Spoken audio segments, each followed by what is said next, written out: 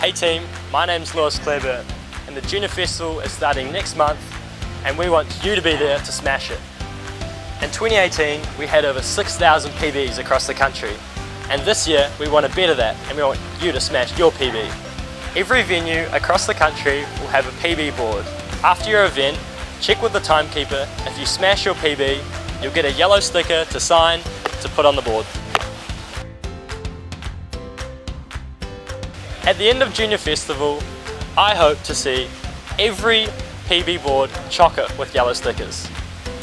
Every swimmer that enters will get a cap like this and thunder sticks like these to make as much noise to cheer on your club. Also, don't forget, we have event merchandise from our friends at Teamline, so get your orders in now. it was events like these that I used to swim at that inspired me to represent New Zealand on the international stage.